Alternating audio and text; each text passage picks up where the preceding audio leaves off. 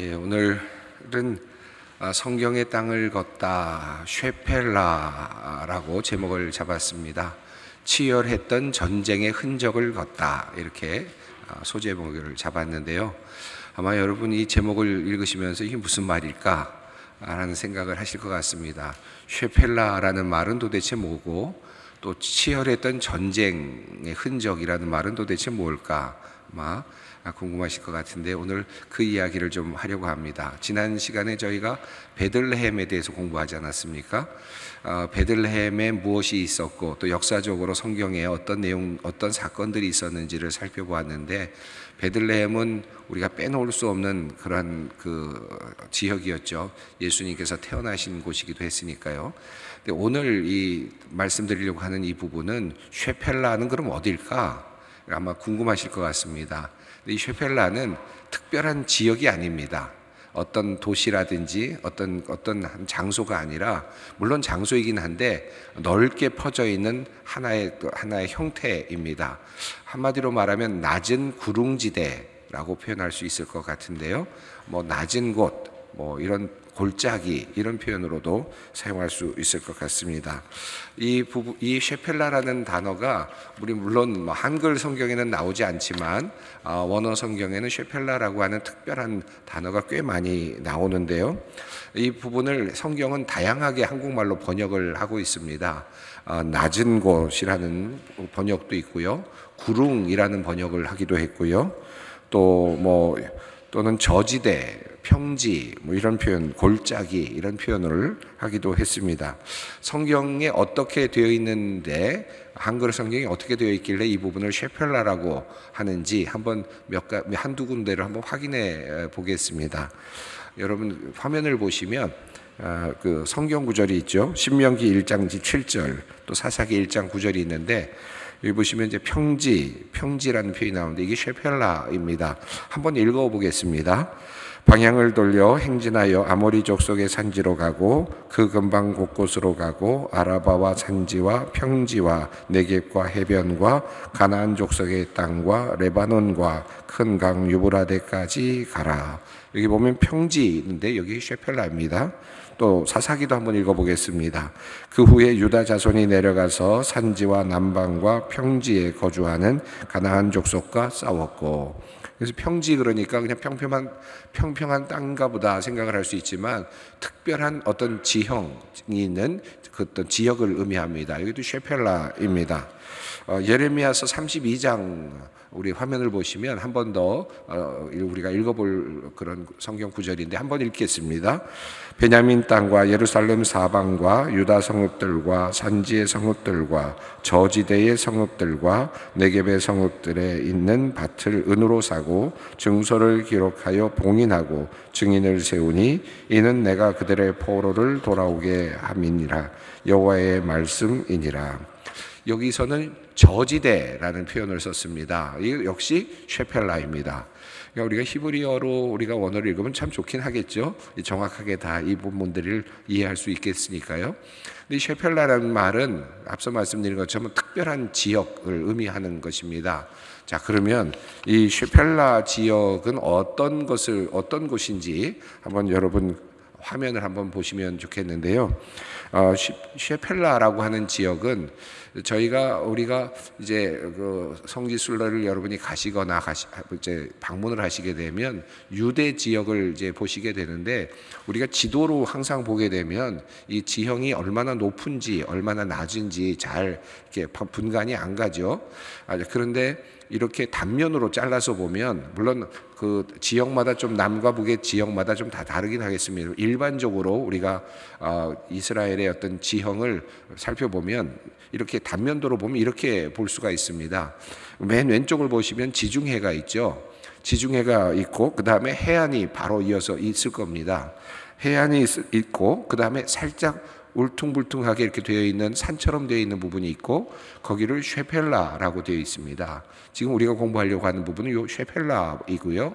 그리고 나서는 높은 이제 산으로 이렇게 올라가게 됩니다. 산지로 올라가게 되는데 산지에 아, 이스라엘 민족이 살았습니다. 그러니까 이 산으로 올라가면 거기에 기부원이라고 하는 곳이 이제 좌표로 본다면 높이로 본다면 기부원은 저렇게 높이 있는 거고요. 예루살렘은 그보다 조금 아래 정도의 좌표를 찍을 수 있겠고 베들레헴은 그보다 조금 더 아래 이렇게 좌표가 찍혀집니다. 여리고는 조금 더 더 아래이고요. 쭉 내려와서 오른쪽으로 보시면 이제 사해가 있고 바로 직전에 평평한 곳이 있죠. 이 부분을 유대 광야라고 합니다. 우리가 또 유대 광야에 대해서도 우리 한번 공부하게 될 텐데 어, 오늘은 이렇게 쉐펠라를 공부하려고 하고요. 그리고 사해가 있습니다. 지중해하고 왼쪽에 지중해하고 가운데 사해를 보시면 사해의 그 수면이 훨씬 더 미치죠. 약 한 400m 정도 어, 밑에 밑에 있습니다. 그러니까 400m 정도 아래에 어, 물이 있는 거죠. 그리고 요단강을 건너고 사해를 건너가면 어, 이 이제 모압 요르단 쪽이 나오는데 암몬이 살았고 또 르벤 갓 이렇게 지파들이 살았던 요단, 요단 동편도 마찬가지고 이렇게 높은 산으로 산지로 되어 있습니다. 자, 이런 상황이고 여러분 그 여기서 쉐펠라 지역을 지금 어느 정도 이해가 되실 텐데 아, 요 지역을 쉐펠라라고 하는구나라고 이해가 되실 텐데 요 지역의 넓이 그러니까 이렇게 단면으로 봤을 때 넓이는 대략 한 15km 정도 에 해당이 된다고 합니다. 한 대략 15km 정도의 넓이의 그런 것이고요. 길이로 말한다면 한 40km 정도 아, 길이입니다. 이 부분을 이제 좀 다른 도, 이제 도면으로 한번 보겠는데 여러분 이 도면을 보시면 조금 더 분명하게 이해를 하실 것 같아요. 어, 맨 밑에 보시면은요, 맨 밑에 쪽에 보시면 부엘세바라고 하는 곳이 있죠. 부엘세바라고 하는 곳이 보이십니까? 부엘세바에서부터 산지가 이렇게 형성이 되면서 올라가고 있죠. 그리고 이 산지로 올라가면서 이스라엘 이제 지역입니다. 여기서부터 그래서 부엘세바에서부터 단까지라고 했을 때 이 경계입니다. 솔로몬 시대, 다윗 시대에서부터 이스라엘 지역을 정리할 때 부엘세바라고 되어 있는데 여기서부터 산지로 이렇게 올라가게 됩니다. 그리고 이 산지에 대부분의 이스라엘 땅들이 존재하고 있습니다. 그리고 이 산 바로 옆에 보시면 부엘사바 왼쪽으로 살짝 보시면 이렇게 돌멩이들 같은 것들이 이렇게 이렇게 이렇게, 이렇게 그림으로 그려져 있지 않습니까? 예, 돌멩이들 같이 그 그림들이 그런데 구릉지대죠. 아, 골짜기도 생기고 조그만 산들이 있는데 바로 이렇게 생겨 있는 골짜기가 쭉 위로 올라가면서 한 40km까지 진행이 되는데 요 요 지역을 쉐펠라라고 하는 지역이라고 할 수 있습니다. 그리고 그 밑 옆으로 왼쪽으로 보시면 초록색으로 되어 있으면서 평지가 있어요. 이 평지는 해안과 맞닿아 있으면서 평평한 그런 곳입니다. 저 그쪽에 보시면 이 해안가를 보시면 가자라는 곳이 있고 또 아스글론이 있고 또 아스돗 이스글론이 있고 아스돗이 있고 이렇게 쭉 있습니다. 이 지역들이 다 어, 누가 대부분 차지하고 있었던 땅이냐면 블레셋 사람들이 차지하고 있었던 땅이죠. 이런 블레셋 사람들은 주로 그리스 지역에서 넘어온 그런 민족으로 알려져 있어서 배를 타고 와서 이 지역에 있으면서 계속해서 산으로 올라가면서 이제 이스라엘 민족들을 괴롭혔던 그런 민족 아닙니까? 자, 그래서 평지에는 주로 블레셋 사람들이 차지하고 있었고요. 이 산 쪽 위쪽으로 이제 헤브론, 그 다음에 베들레헴, 예루살렘, 어, 이런 세겜, 실로 이런 부분들이 다 산 위에 어, 있습니다. 이렇게 보시면 어, 갑자기 예루살렘 이스라엘을 가보고 싶은 마음이 갑자기 드시죠. 가서 한번 이거 확인해 보고 싶다라는 생각이 드실 것 같은데 그리고 이, 이 부분에서, 이 쉐펠라 부분에서 중요한 부분은 이렇게 산이 구릉지대로 올라가면서 산을 연결해 주고 있는 곳이기 때문에 그 중간에 완충지대 역할을 합니다. 그리고 이 부분에서 크게 네 곳을 볼 수가 있는데 하나는 그 요바라고 하는 분이 보이시는지 모르겠는데 요바에서 보시면 아얄론 골짜기라고 되어 있죠. 그 다음에 밑으로 내려보시면 소렉 골짜기가 있습니다. 그 다음에 또 좀 내려가시면 엘라 골짜기가 있고요.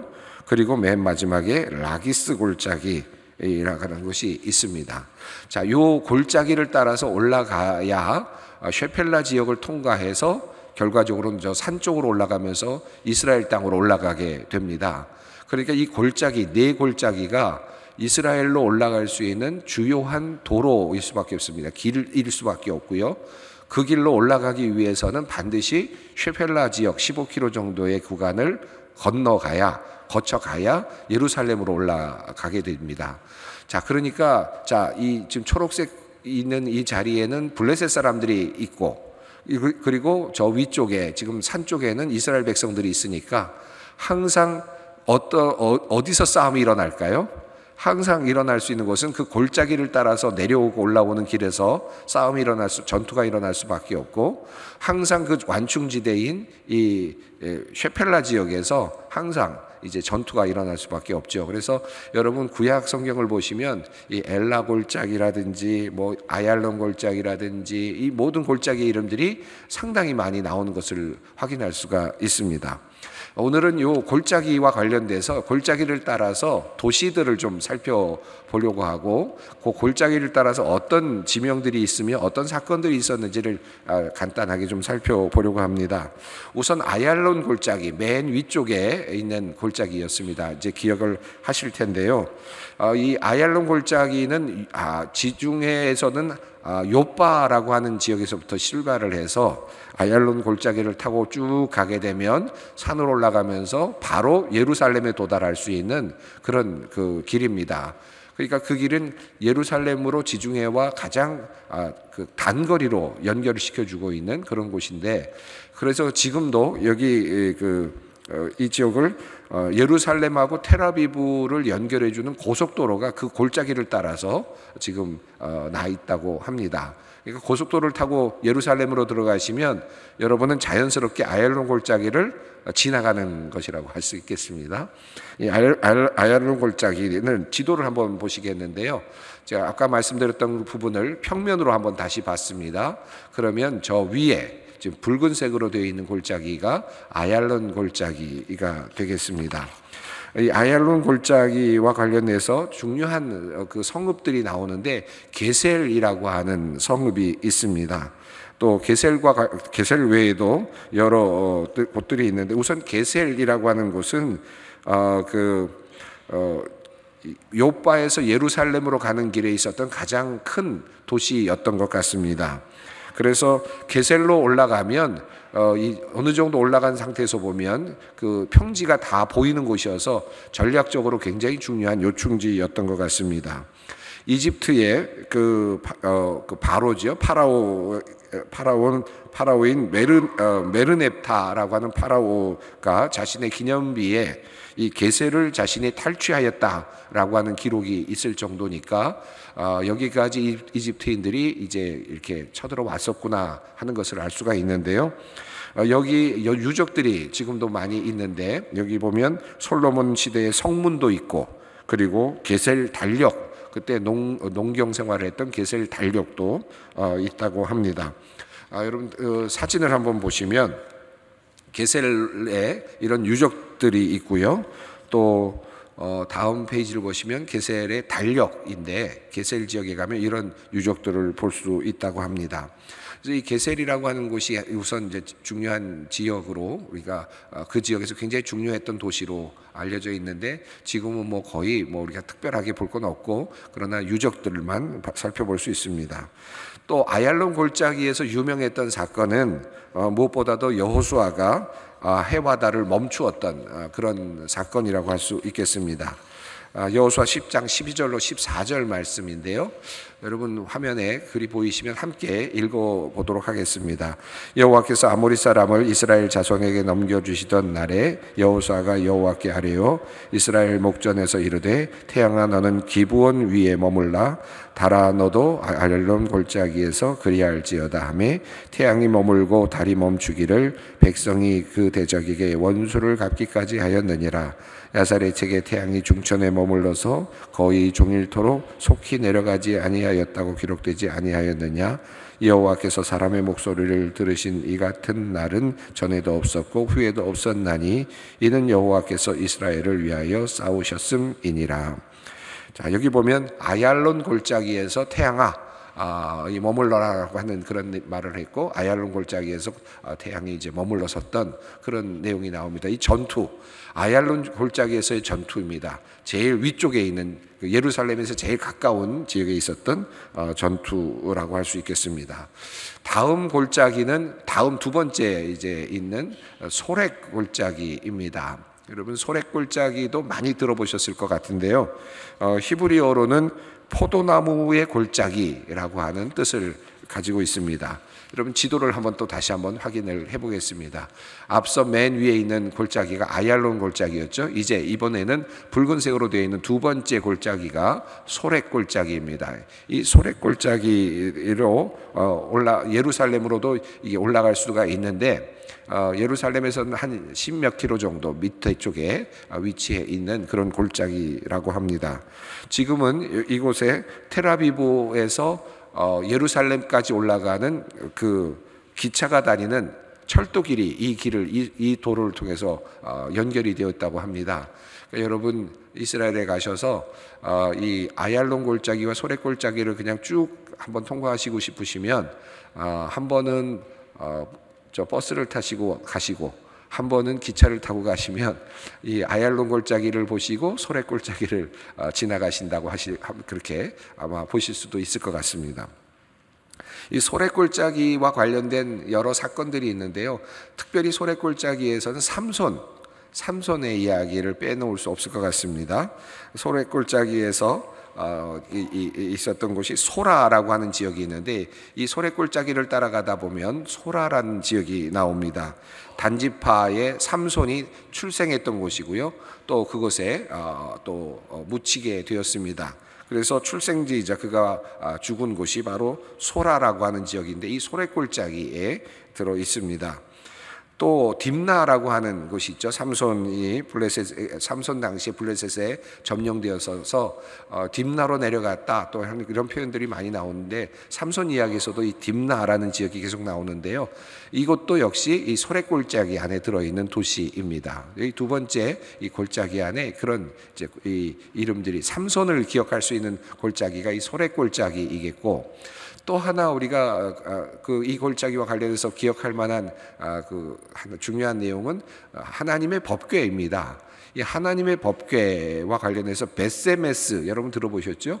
베세메스로 가는 소 이렇게 들어보셨는데 여러분 그 이제 사무엘 그 사무엘 상에 보시면은 이제 엘리 제사장이 통해서 블레셋과의 전투를 통해서 아, 그 아들들이 이제 죽게 되고 그리고 이제 그 어, 법궤를 빼앗기게 되지 않습니까? 블레셋에 빼앗긴 이 법궤, 법궤가 어디로 갔겠습니까? 평야 쪽으로 갔겠죠, 당연히.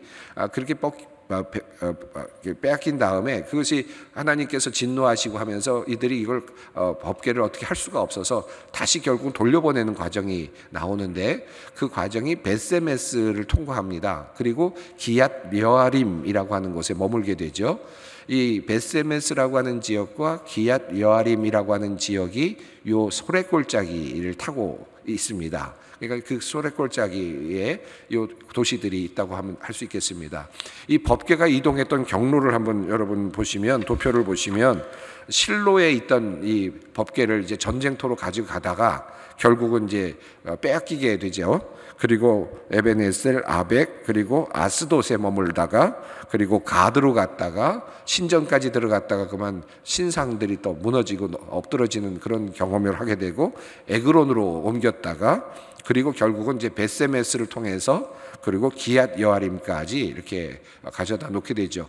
그리고 기얏 여아림에서 한 20여 년 동안 머물게 되고 나중에 이제 거기에서 그곳에서 다윗이 이제 역대기를 보아도 그렇고 다윗이 그곳에서 이제 법궤를 가지고 이제 예루살렘으로 모시고 오게 되는 장면이 나옵니다. 자, 그 여기서 베세메스 그리고 기앗 여아림 이 도시들이 이 바로 소래골짜기와 관련이 있습니다. 이 소래골짜기를 타고 가다 보면 이런 소라, 딥나 아 그리고 이런 어, 또 베세메스 그리고 기앗 여아림과 같은 그런 도시들을 우리가 살펴볼 수 있겠습니다. 어, 다음 그림을 한번 보시면 이 베세메스에 가면 이런 이제 베세메스의 유적이 아, 있습니다. 어, 베세메스가 도시의 그 자리의 흔적이 이렇게 어, 남아 있습니다. 자, 세 번째 골짜기 우리가 어, 쉐펠라의 흐름을 타고 골짜기가 만들어지고 이제 그 이스라엘로 올라가는 골짜기 중에 세 번째 골짜기는 엘라 골짜기입니다. 상수리 나무 골짜기라고 하는 뜻을 가지고 있는데요. 어, 다시 한번 지도를 보시면 이 엘라 골짜기가 어딘지를 볼 수 있습니다. 맨 위에 골짜기 이제 두 번째 아얄론 두 번째 소렉 골짜기를 봤고요. 세 번째가 지금 엘라 골짜기인데 붉은색으로 표시되어 있습니다. 남쪽이죠. 남쪽이 예루살렘보다는 한참 아래에 있는 골짜기입니다.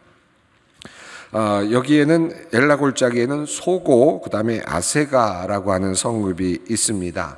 근데 여기 이 엘라 골짜기와 관련해서 우리가 기억할 만한 사건은 다윗과 골리앗 다윗과 골리앗과 관련된 내용입니다. 이때도 블레셋이 쳐들어와서 40일 동안 꼼짝 못하고 골리앗 앞에서 아, 벌벌 떨고 있었던 바로 그 곳이죠. 그 엘라 골짜기입니다. 이 엘라 골짜기에서 블레셋과 대치했던. 그러니까 이 소렉 골짜기, 뭐 아얄론 골짜기, 그 다음에 엘라 골짜기 할 것 없이 여기 모두에 다 이 모든 골짜기에마다 이 블레셋과의 전투가 계속 이제 기억이 되고 있습니다. 블레셋과 끊임없는 전투가 있었던 곳이죠. 엘라 골짜기 역시 그러합니다. 다윗이 그, 어, 그 골짜기에서 어, 물맷돌 다섯 개를 짓고 물맷돌로 어, 골리앗을 쓰러뜨린 그런 곳입니다. 이 엘라 골짜기는 물이 흐르지 않는 곳인데 아, 그러나 또 우기에는 물이 흐르는 건천으로 되어 있습니다. 그래서 물이 흐른 흔적은 있고요.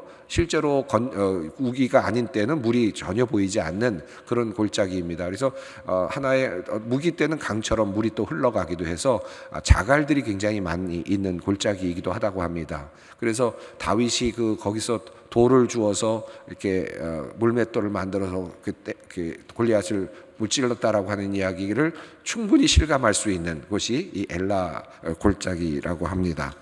자, 엘라 골짜기에 가면 어떤 모습일까 사진을 한번 보시면 엘라 골짜기에서 어, 찍은 사진인데요. 소고와 아세가 사이에 있었던 다윗과 골리앗의 전투지라고 알려져 있는 곳이고요. 그곳에 가면 이렇게 뭐 이렇게 돌로 된 비석 같은 것이 있는데 아, 그 비석은 이렇게 쓰여져 있습니다. 아, 여기 보면 히브리어로 되어 있지만 여인들이 뛰놀며 노래하며 이르되 사울이 죽인 자는 천천히요 다윗은 만만이로다 한지라 요 구절이 이곳에 쓰여져 있다고 하고요. 또 그 다음 그림을 보시면 아, 여기에도 다윗이 이같이 물매와 돌로 블레셋 사람을 이기고 그를 쳐 죽였으나 자기 손에는 칼이 없었더라라고 하는 부분이 히브리어로 이렇게 쓰여져 있는 그런 어, 비석이 있다고 합니다. 여러분 이제 혹시라도 이곳을 가게 되시면 이런 것들을 이제 확인하실 수가 있겠습니다. 라기스 골짜기 네 번째 골짜기인데요.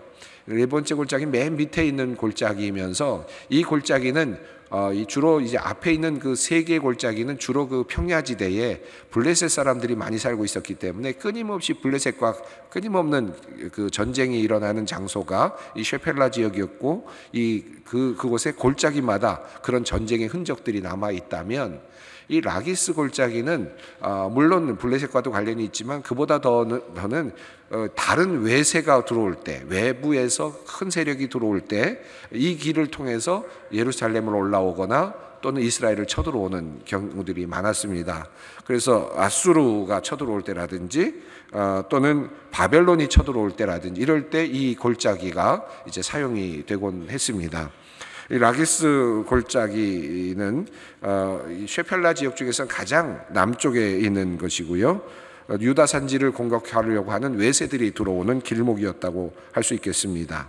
어, 사내립이 포위했을 때 히스기야가 어, 내려가서 조공을 바칠 것을 어, 조약을 맺었던 바로 그 골짜기도 이 라기스 골짜기라고 할 수 있겠고요.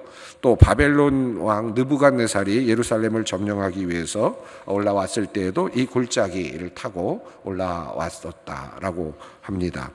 자, 바벨 어, 이 부분 여기에서 끝까지 남았던 그 도시들의 이름들이 성경에 나오는데 아세가 그리고 라기스 라고 하는 그런 지역의 이름이 나오는데 예레미야 34장에 나오는 어, 이름입니다. 어, 그림을 한번 보도록 하겠습니다. 맨 밑에 있는 그 그림이고요. 라기스 골짜기 저 아래에 있고요. 그래서 저 남쪽에서 이제 받쳐주고 있는 그런 이제 골짜기라고 할 수 있겠습니다. 어, 다음 그림을 보시면 이 성문 라기스 성문의 그 성읍의 성문에 흔적이 있고 또 다음 그림을 보시면 라기스 성읍의 어, 성문 터가 이렇게 어, 나타나고 있습니다. 자, 이렇게 해서 라기스라고 하는 지역도 하나의 골짜기로 형성이 되어 있음을 확인할 수 있습니다. 이제 쉐펠라 우리가 함께 함께 봤는데 이 쉐펠라 지역들은 이렇게 골짜기가 생길 수밖에 없겠고요. 쉐펠라라는 지역은 낮은 지역, 뭐 평지, 어, 구릉지대, 골짜기라고 되어 있지만 그러나 평지의 입장에서 보면 해변에 해변에 살고 있는 사람들의 입장에서 본다면 그것은 구릉지대죠. 조금 더 높은 곳이고 골짜기와 산들이 있는 그런 곳입니다. 그런데 그곳에서는 뭐 다양한 그 흙이 흙이 좋고 그래서 그곳에서 올리브도 재배가 되고 다양한 그런 식물들이 재배가 되는 그런 아주 또 옥토이기도 했다고 합니다. 그런데 왜 저지대이고 왜 평지냐? 그것은 산에 올라가서 살고 있는 이스라엘 백성들이 그것을 보면 낮은 지역이기 때문에 그 지역을 쉐펠라 지역을 평지라고 그렇게 이해하고 불렀다라고 할 수 있겠습니다.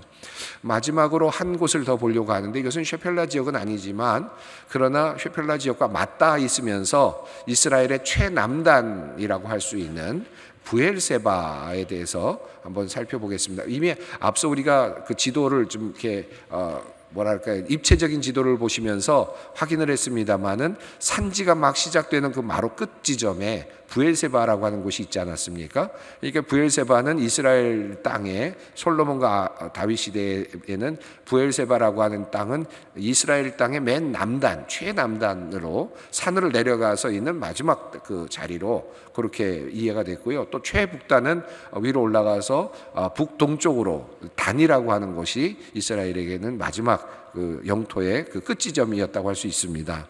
요 남단이 바로 셰펠라 지역과 연결되면서 시작되는 그런 부분인데 어, 이 부분을 어, 좀 한번 보도록 하겠습니다. 여기는 맹세의 운물, 여러분 부엘세바와 관련해서는 다양한 그 사건들이 있었는데요. 많은 성경의 사건들이 있죠. 아브라함이 그 우물을 이제 사는 내용이 나오는데 어 이제 부엘세바에서 아브라함이 우물을 이제 사게 되는데 그랄 왕 아비멜렉에게 돈을 주고 어 약조를 하고 부엘세바를 삽니다. 그래서 이 부엘세바는 어 맹세의 우물이다. 라고 그렇게 알려져 있고 또 일곱 개의 운물이다 라는 표현으로도 사용됩니다.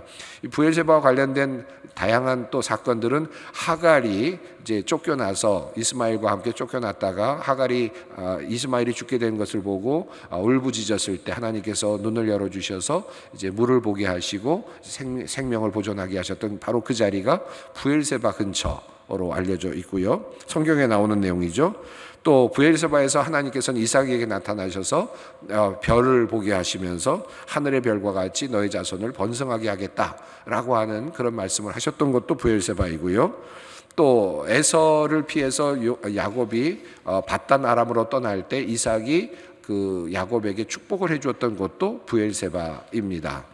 또 어, 야곱이 나중에 그 요셉이 그 애굽에서 이제 총리가 되고 나중에 알게 된 다음에 애굽으로 어, 내려가려고 할 때 야곱이 가족들을 이끌고 야곱 어, 애굽으로 내려가려고 할 때 부엘세바에서 희생 제사를 이제 드리게 됩니다.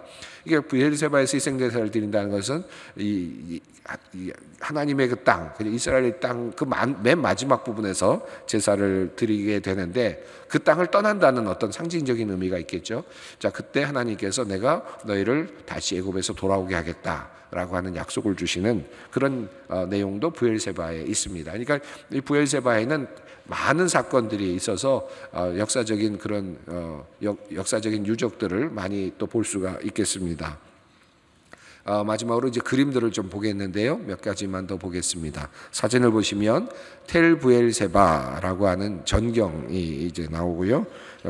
부엘세바의 전경이 이렇게 어, 보입니다. 또 어, 다음 그림을 보시면 부엘세바의 아브라함의 우물, 맹세의 우물이라고 하는 우물터인데 뭐 가보면 좀 싱, 싱겁기는 하다고 하는데요. 그러나 어쨌든 가보면 이렇게 되어 있습니다. 또 다음 그림을 보시면 부엘세바의 아브라함의 우물터가 있고요. 또 다음 그림도 역시 아브라함의 우물터의 모습입니다.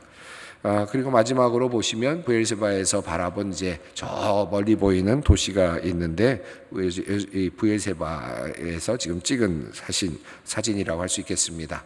예, 여기까지가 우리가 이제 오늘 살펴보려고 하는 쉐펠라 지역인데 여러분 이 쉐펠라 지역은 우리가 많이 알지 못했던 그런 곳이고 큰 지형인데 네 개의 골짜기를 우리가 살펴봤는데 네개 골짜기를 하나씩 하나씩 곱으면서 성경을 다시 한번 보시면 아마 아주 흥미로운 아 이쯤에서 전투가 벌어졌구나 이쯤에서 다윗이 물맷돌을 던졌겠구나 이쯤에서 블레셋과 싸우다가 또 많은 사람이 죽었겠구나 아 이런 것들을 우리가 생각할 수 있는 아, 그런 곳이라고 할 수 있겠습니다. 이 쉐펠라는 어, 블레셋과 이스라엘 사이에 끊임없이 전투가 일어났던 것이고요. 그리고 결국은 마침내 마침내 하나님께서 제가 역대기를 읽으면서도 그런 말씀을 드렸습니다. 마침내 하나님께서 블레셋을 이제 완전히 소멸시키는 그런 시기가 옵니다. 그것이 바로 어, 다윗 시대에 이제 이르러서 완전히 소멸시키는 내용이 나오거든요. 아, 끝 끊임없는 전투 같고 그리고 이어지는 전투가 어, 매번 반복이 되어서 참 힘들고 어렵지만 결국 끝이 있다. 셰펠레스의 끊임없는 전투는 결국은 마지막을 장식하게 되고 해안 평야까지 모든 지역을 이스라엘이 다스리는 시대가 오게 되죠. 그런 관점에서 셰펠라 우리 우리에게 있어서도 끊임없이 영적인 전투가 일어나는 곳이지만 여러분께서 열심히 분투하셔서 결국 하나님께서 그 모든 것들을 다 몰아내게 하시고 아, 하나님의 귀한 나라를 만들어 가시는 우리의 삶 속에서 우리의 아, 영혼 가운데 만들어 가시는 역사가 있기를 바랍니다. 함께 기도하겠습니다. 거룩하신 아버지 하나님 감사합니다. 오늘 어, 성경의 그 귀한 그 자리 특별히 지역을 돌아보며 쉐펠라 지역을 함께 살펴보았습니다. 하나님 이 골짜기마다 쉐펠라 지역마다 있었던 많은 사건들을 다시 기억하며 하나님의 손길을 다시 생각합니다. 하나님 여러 어렵고 힘든 시간들이 있었지만 마침내 승리케 하시고 약속의 땅을 선물로 주신 하나님을 찬양합니다. 우리의 삶 속에서도 그와 같은 놀라운 역사가 이어지게 하여 주시옵소서. 우리 주 예수 그리스도의 이름으로 기도드립니다. 아멘.